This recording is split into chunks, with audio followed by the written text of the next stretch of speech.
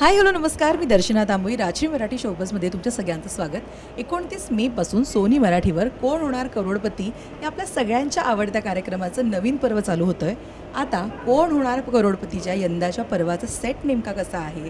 आणि ती hot seat नेमकी कशी आहे? मी बसली आहे त्या हॉट सीटवर जेव्हा फार टेन्शन येतं जेव्हा आपण त्याच्यावर बसतो. त्याचबरोबर फास्टेस्ट फिंगर फर्स्टसाठी स्पर्धकांना कुठे बसवलं जातं आणि कशा प्रकारे ही सगळी लाईटची अरेंजमेंट असते हे आम्ही तुम्हाला दाखवणार आहोत. आता आपण बघूयात सोनी मराठीवर सुरू होणाऱ्या कोण होणार करोडपती या कार्यक्रमाचा सेट नेमका कसा आहे? चला.